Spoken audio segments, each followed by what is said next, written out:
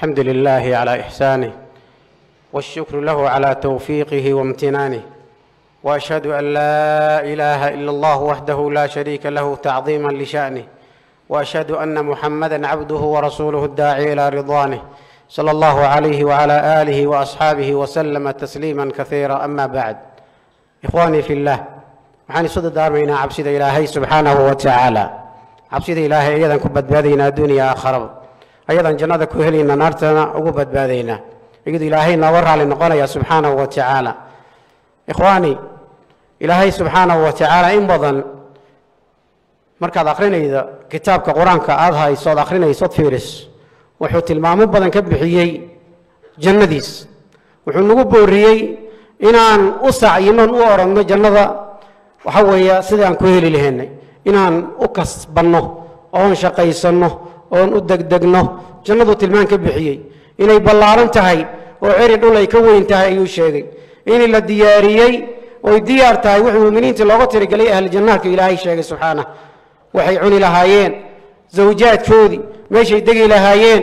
Waxay u baahan yihiin oo dhan baa lagu diyaariyey waa diyaar jannada muuminiintay sugaysaa wax walba ilaahay waa ku diyaariyey.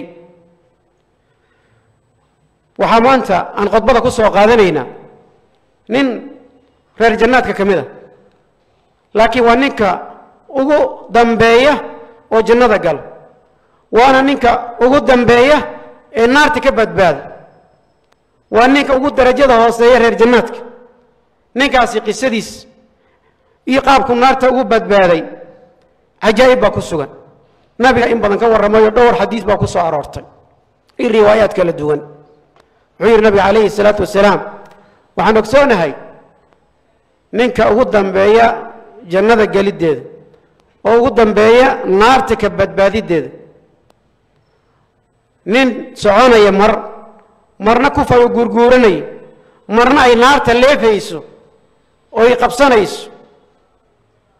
Ninkaasi markuu naarta ka badbaado oo aad ka gudbo yaad ilaahay subxaanahu wa tacaala wuxuu ku leeyahay jannada gal. Markii jannada gal la yidhaahdo ayaa wuxuu u qaadanayaa inay jannadii ka buuxsantay. Wuxuu leeyahay rabbiyow jannadii way buuxsantay. Reer jannaadkii dadkii jannada galay way qaateen boosaskii oo dhan. Wax walba way la tageen. Wax ka haray ba lama arko. Wax walba ayagaa qaybsado oo la tagay. Maxaan inteen gala? Maxaan qaataa wuxuu ilaahay ku leeyahay ninkaasi. Ma ku raalli noqonaysaa boqor boqorradii adduunyada joogaya soo maray ka mid a. In lagu siiyo wixii la siiyey. Boqortooye boqor dowlad xukumaya. Boqorkaasi wuxuu haystay oo dhan in adiga lagu siiyo. Ma ku raalli noqonaysa ilaahay leeyahy subxaanahu wa wuxuu leeyahy ninkaasi waan raalli noqday.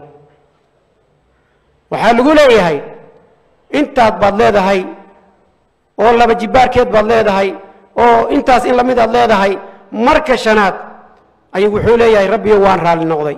Waxaa lagu leeyahay toban jibbaar kale toban laabna waa lagugu daray baa lagu leeyahay. Waxay naftaada jeclaatana waad leedahay. Waxay ishaada ku raaxaysatoy ku qabowsatoy ku farxadaad leedahay. Ninka reer jannaadka ugu koreeyana nabi muuse ayaa calayhi salaam nabiga ayaa ilaahay weydiiyey subxaana wa tacaala kaliimullaahi buu ah nabi muuse calayhi salaam. Rabbi buu la hadli jiray markuu weydiiyey ahlu jannaadka kan ugu darajada sarreeya ilaahay subxaanahu wa tacaala wuxuu yidhi qoomkaasi waa qoom aniga aan doortay. Karaamadooda aniga gacantayda ku sameeyey oo khatmiyey khatmiga saaray. Qoomkaasi marka waa qoom waxay il arag aan ay maqal qalbi aan ku soo dhiceen bay haystaan qoomkaasi. Waa qoom tegey kabacdi wuxuu akhriyey nabiga calayhi salaam qowluhu tacaala falaa taclamu nafsu maa ukhfiya lahum min qurati acyun haddaad doontaan aayaddaasa shaahid u ah oo oo waxa weeye rumaynaysa oo caddaynaysa aayaddaasi akhriya buu yidhi naf ma ooga waxa sugaya oo jannada looga diyaariyey oo barwaaqo oo nicmo ah oo wanaaga oo raaxo ah waxay karta ma ah wax in lagu arkay maaha wax qalbi ku soo dhici kara maaha waa wax waxa weeye adduunyadan lagu arkaynin waxaasuu ilaahay jannada ugu diyaariyey naf. Waxaa kaloo riwaayad kale ay sheegaysaa ninkaasi jannada markuu ka gudbo waxa weeyaan jannada xaggeeda u gudbo naarti ka gudbo oo siraaqii aad gudbo ayuu jannada gadaal u fii naarti gadaal u fiirinaya naartii gadaal u milacsanaya. Wuxuu leeyahay tabaaraka aladii anjaanii mink allihii iga kaa baadbaadi baa waxa weeye weynaaday oo barakaysnaaday wuxuu ilaahay siiyey wax dadka kale aan la siinin. U fiirsa inuu naartii ka badbaadi keliya ayaa wuxuu u arkaa. Nicmo weyn. Oon dadka kale la siinin uu arkaa. Ka bacdi ayaa wuxuu arkayaa geed weyn oo hoosa oo biyo qabow ay ku yaallaan oo hortiisa ka muuqda rabbi buu la hadlayaa. Wuxuu leeyahay rabbiyow geedkaasi hooska ii dhowey biyaha aan ka cabo hooskana aan harsada ku qabowsado on ku raaxaysta rabbi wuxuu ku odhanayaa ninkaasi wax kale miyaad ii weydiisanaysa haddii aan dalabkaasi fuliyo? Haddaan sidaasi kuu yeelo wax kale miyaad iga rabtaa? Wuxuu leeyahay rabbiyo wax kale kuma weydiisanay. Ballan baan arrintaasi kaaga qaadaya ballan buu ka qaadaya eebbe subxaanahu wa tacaala. Waa u naxaya ilahay waa u naxariisanaya ilaahay subxaanahu wa tacaala. Maadaama ood waxa weeye adkaysani karaynin hawshuu ku sugan yahay. Io shawqa u haaya waxa u arkay jannadii geedkii baa loo soo dhoweynaya meeshii hooska ahayd oo biyaha qabow laheed ayuu keenaya ilaahay. Halkii markuu imaan ood biyihii cabo ood hooskii harsado ayaa wuxuu arkaa geed kale ee geedkii asagaa ka qabow oo ka biyo fiican ayaa u muuqanay. Waa is haysan waynaa wuu sabri waa adkaysan weynaya wuxuu leeyahay rabbiyo ii dhowey geedkaasi kale. Ilaahay wuxuu ku leeyahay ku odhanayaa bani aadanow soo ballan igama qaadin soo taad ballan iga qaadin inaad wax kale i aaway ballanti. Rabbiyo wuxuu leeyahay kanun ii dhowey wax kale kuma weydiisanaya kanun ii dhowey codsigaas. Ayaan ku weydiin rabbi dalabkaas. Iga aqbal. Ilaahay subxana wa tacala waa u naxariisanaya. Ballanna waa ka qaadaya inaad dalab kale aad waxa soo gudbinaynin. Ilaahay subxana wa tacala u naxariisanaya maadaama aad adkaysan waayey ninkaas. Geedkii buu u soo dhoweynaya biyaheedii buu cabbayaa hooskeediina waa harsanaya markuu nasto وهذا قبل وضع راح يستوى أمه غنية جيل جيل لابد جيل ظهر كسي قبو. كسي في عن كبي يم عم بأمه غنية وجنة الباب كذا هذا نكويل ربي وهذا نوي دي سنة يا إن جيت كاس لود وي حول جيت كاس ربي ويد وي كاس. إلى هاي وحكورنا يا نينكي. بني آدم وصوب الله نجم قاضي أو يبلنت سو هذه داي واحد قدامكم كم وي دي سنة حول يا ربي واحد لكم وي دي هذه بس. جيت كان كلي جيت wax kalena kuma weydiisanaya ballanna waa qaada. Geedkii baa loo soo dhaweynaya markuu geedka yimaado ood ku nastood biyihii cawood hooskii harsado ayaa wuxuu maqlayaa reer jannaadka codkoodii iyo sawdkoodii iyo sheekaysigoodii. Jannadii uu arkay ood u soo dhowaaday waa sheekaysigoodii buu maqlay. Jannadii buu markaas hamuunu qaba wuxuu leeyahay rabbiyow jannada i geli. Waa adkaysan weynaa haddana. Eebbu wuxuu ka odhanayaa bani aadanow soo ballan igama qaadi soo taad waxaad tihi tiri sooma wax kale kuma weydiisanay. Maxaa su'aashaada soo afjaray i dalabkaada iska isdaba socdo. Oo marba waxaad ii weydiisanaysa ma ku raalli noqonaysaa in lagu siiyo adduunyadan oo dhan wixii yaallaba nicmay barwaaqa in lagu siiyo? Oo miligeed iyo in la mid oo kale laba jibaarkeedna lagugu daro ma ku raalli noqonaysaa? Habuu li rabbiyo waan raalli noqday intuusan haa dhihin ayaa ninkii uu rumaysan waynaya. Ninkii waxaa weeye naarta ugu soo baadbaaday sida waxa weeyaan gurguuradka oy naarta soo leeftay oo geedba geed soo maray imtixaankaasi soo qabsaday. Marka la yidhahdo nicmo waxaad leedahay waxa adduunyo yaalla oo nicmo ah intaasi nicmo la eg. Iyo in kaloo lagu daray nicmo intaas la eg baad leedahay oo janno ah. Waa rumaysan weynaaya. Wuxuu leeyahay rabbiyow migu jeesjeesaysa adigoo rabbulcaalamiin ah ibn mascuud marka waa qoslay. Wuxuu yidhi miyaadin weydiinaynin? Waxa aan ku qoslay. Maxaad ku qoslaysaa? Ayay weydiiyeen ibn mascuudow wuxuu yidhi nabiga calayhi salaam xadiiskaani markuu noo sheegay iyuu qoslay. Wuxuuna noo sheegay inuu ku qoslaayo eebbaweyne subxaanahu wa tacala rabbulcaalamiin addoonka markuu sidaa yidhi migu jeesjeesaysa adoo rabbulcaalamiinna ayuu eebba ku qoslay.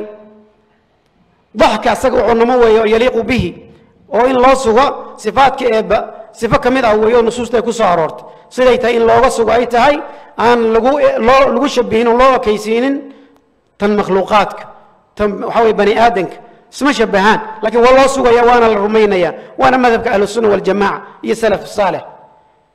Ilaahay marka ninkii wuxuu ku yidhi may kuu jeesjeesi maayo laakiin aniga waxaan awoodaa waxaan doono inaan fuliyo waxaan doono inaan fuliyo waxaa soo aroortay oo riwaayad kale ay tilmaamaysaa in ninka ilaahay subxaanahu wa tacaala la xasuusinaya wax kale oo waxa weeye aad dalbado. Dal baa laleeyahy waxaad doonaysa. Waxbuu dalbanaya. Dalabkii baa ka dhammaanaya waxaasi ayaan doonayaa hoo waa lagaa yeelay. Waxaasi baan doonayaa waa lagaa yeelay. Wax kastoo weydiista waa loo qoray waa lagaa yeelay. Ilaa ay ka dhammaadaan waxyaabihii umniyaadkiisa. Tamani baa laleeyahy waxyaabuusan xasuusnayn baa la soo xasuusinaya u fiirso. Waxuusan xasuusnayn baa la soo xasuusinaya waa dalbanaya. Wax walba markuu dalbado oo laga yeelo ood jannada galo ayaa ood gurigiisa galaya waxaa u soo gelaya laba ka mid ah xuurulciinti oo xaasaskiisii jannada ayaa u soo gelaya markaasa waxay leeyihiin alxamdu lilaahi aladii axyaana lak wa axyaaka lana. Waxaa aan ku mahadinayna allihii annaga noo ka abuuray oo noo kaa nasiibay oo adigana annaga noo kaa abuuray oo noo kaa nasiibay. Isu keen abuuray. Daar aan laga dhimanayninna na keenay daarulxayaat daar aan laga dhimanaynin oon geeri ayna jirin oo xayaato daa'ima iyo nicmo daa'ima ay jirto oon laga duqoobaynin oon la isku nacaynin daartaasi alli isku keena keenay baa mahadle bay leeyihiin. Wuxuu leeyahay asagana waxaa lay siiyey nicmo aan axad kale la siinin sidaasuu leeyahay. Ilaahay wuxuu i siiyey nicmo aan axad kale la siinin ayaa lay siiyey. Isagoo ugu ah jannada ahlu jannaadka axadka ugu hooseeyey darajada ayaa waxaa u soo warmayso ood isu haystaa ood ku qanacsan yahay waxa aad haysta inuu yahay axadka ugu fadliga badan. Waa sidaasay jannada nicmadeeda. Wixii la siiyaad ku qanacaya qofka xataa adduunya kan ugu hooseeya sidaasi waxaa ka bedelan adduunyadan. Qofka adduunyada markuu wax helo xataa haddii uu dadka kale ka fiican yahay wuxuu isu haystaa in dadka kale ay ka sii fiican yihiin. Waxay dadka kale haystaan ay ka wanaagsan yihiin. Kuwa uu gacanta ku haya qanaaco badan iyo rilla ma jiro. Adduunya waa sidaas maxaa yeele waa daaran qaymo lahayn waa daaran qanaaco ahayn. Laakiin jannada sidaas maa waxa yaal kii ugu hooseeyey reer jannaadka ayaa ku qanacsan wixii la siiyey. Maxaa yeele adduunyadan oo dhan baa la siiyey iyo intaas laba waxa weeyaan laabkeed iyo jibaarkeed baa la siiyey. Sidaasuu ilaahay ugu mahadinayaa addoonkii asagaha wax walba markii la siiyey sidaa jannad ku ilahay ninkaasi nabiga alayh salaam aad ka sheekeeyey. Waxay ku tusinaysaa hadduu yahay kan reer jannaadka ugu darajada hooseey oo intaasoo nicmo ilaahay siiyey subxaanahu wa tacaala haddii uu kaa yahay kuwii kale. Ee ilbiriqsi waxa weeye jannada ku galay ee xisaab la'aan iyo cadaab la'aan galay aanba la imtixaaninba waxa weeye ayagoo suuratu lqamar dayaxa sidooda u nuuraya galay kuwaasi darajadooda xaggay joogtaa kuwaasi xidigaha meesha ay joogaan samada iyo dhulka intay isu jiraan bay kala koreeyaan kuwaas boqol darajo inay tahay wuu sheegay jannada nabiga calayhi salaam. Mid walbana ay isu jiraan intay cerkii dhulka isu jiraan laba darajaba. Sidaasay reer jannaadka isu fiiriyaan. Oy u kala qiimo badan yihiin oy u kala sharaf badan yihiin oy u kala nicmo badan yihiin. Kan nolosheeday waa ka ugu hooseeyey.